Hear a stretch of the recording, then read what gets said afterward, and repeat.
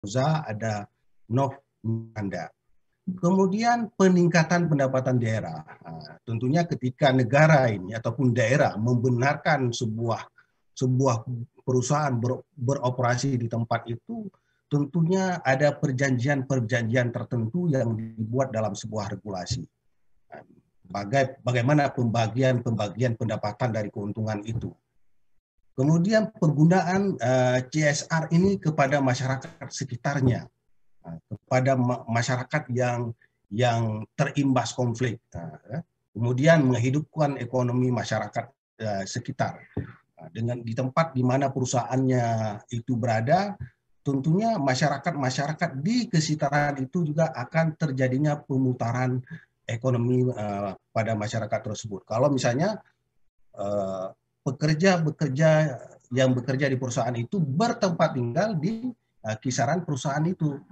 Tetapi ada juga yang sebagian perusahaan itu yang dia hanya perusahaan saja, tetapi mereka uh, bertempat tinggal di tempat yang yang agak jauh dari perusahaan itu. Misalnya dulu pernah saya uh, orang Simpang Muling, Cam Syam Talira Arun, uh, dekat Exxon Mobil, saya mengamati itu ada mekanisme, ada sistem pekerjaan yang sistem seperti itu.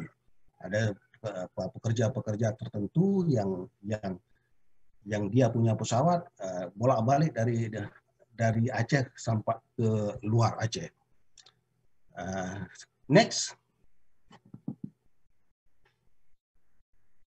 Lalu bagaimana tadi? Tadi sebagian sudah disampaikan oleh Pak Zainal Arifin ya.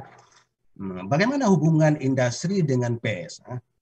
Tentunya uh, fungsi utama PES itu adalah sebagai media penyampai informasi. Tentunya dalam hal ini media penyampai informasi itu adalah informasi yang ada di dalam industri itu. Itu ada satu hubungan. Maka dunia industri dengan PES itu harus ada sebuah hubungan harmonisasi. Sebab media punya punya alat untuk sebagai media penyampai informasi, kemudian industri itu mereka punya berita yang harus ditersampaikan kepada masyarakat. Jadi harus ada uh, hubungan yang harmonis. Begitu juga apa yang dibutuhkan oleh masyarakat, apa imbasnya yang dirasakan oleh masyarakat, pihak PES itu berkewajiban untuk menyampaikan informasi itu agar diketahui oleh oleh uh, si pihak uh, industri itu Nah, jadi eh, seterusnya harus mendapatkan dukungan terhadap industri yang sedang beroperasi sepanjang berada pada jalan yang benar. Nah, karena tugas PES itu menyampaikan sesuatu informasi yang dianggap informasi itu ada kepentingan dengan masyarakat umum. Kemudian informasi itu harus informasi yang benar. Tetapi misalnya eh, misalnya tadi disebutkan manfaat eh, industri itu pada sesuatu daerah misalnya salah satu CSR. Ini juga harus ada azas transparansi yang harus diketahui oleh masyarakat sekitar apa saja sih dana CSR itu dan tiap-tiap tahun itu karena kalau uh, sebab uh, dana CSR itu ada sebuah kewajiban ke, oleh perusahaan untuk memberikan kepada masyarakat yang uh, yang terkena imbasnya yang ada di sekitar itu. Kemudian kemudian juga PES itu tidak ada unsur kebencian yang saya tangkap tadi apa yang dikatakan oleh Pak Zainal Arifin. Kalau saya sebutkan itu PES tidak melakukan pemerasan dengan ancaman pemberitaan yang buruk. Nah, dengan ancaman pemberitaan memburuk. Kalau misalnya itu sesuatu berita yang ada manfaatnya kepada uh, masyarakat, uh, ya berita saja.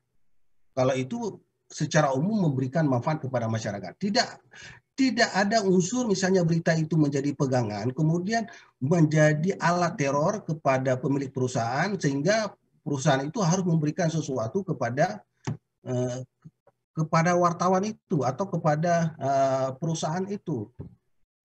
Perusahaan pes itu maksud saya.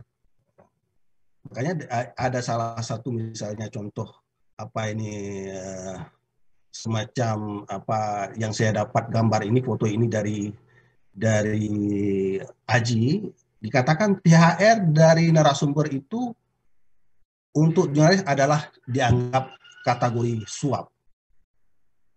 Dan KPK juga pernah mengatakan juga THR yang diberikan di luar apa di luar unsur perusahaannya dianggap itu ada adalah dinamakan bisa uh, apa gratifikasi.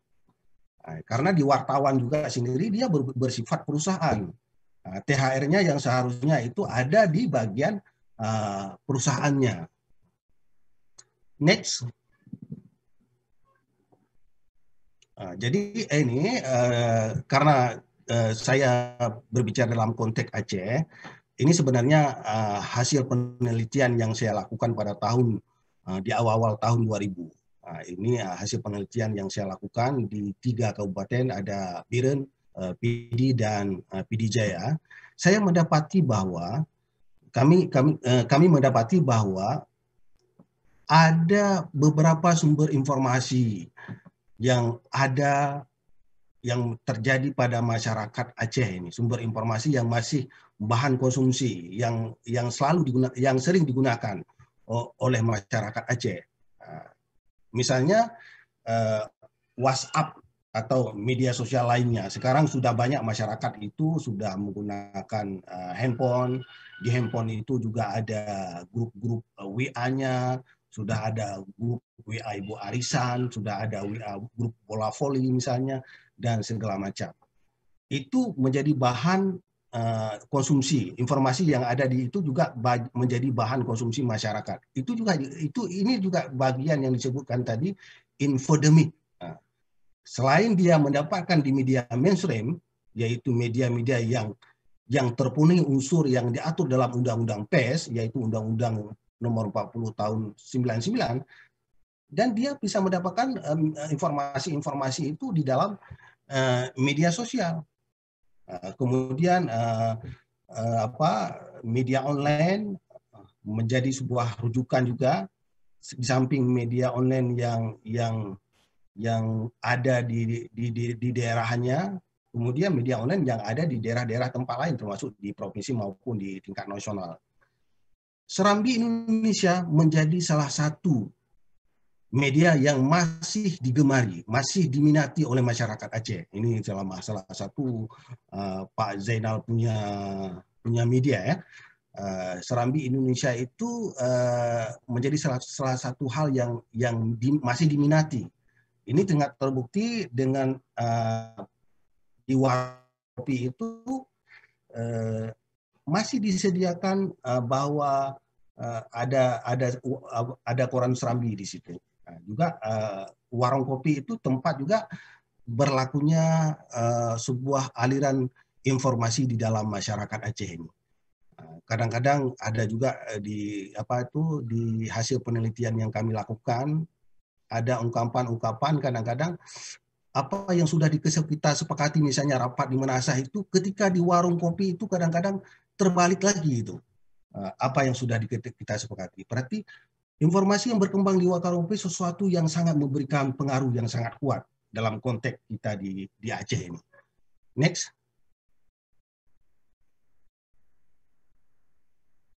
Uh, ini gambaran akses informasi uh, media cetak sudah saya sebutkan itu uh, apa dipercaya oleh masyarakat Aceh adalah Harian Serambi Indonesia tentu ada uh, karena media-media yang lain itu eh, media cetak lain saya lihat di Aceh itu tidak terjadi perkembangan yang sangat signifikan misalnya harian rakyat Aceh eh, itu masih menurut pandangan saya itu masih agak kalah dengan dengan harian Serambi Indonesia.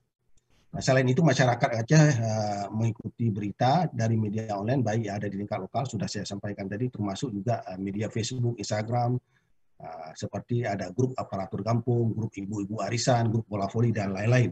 Next.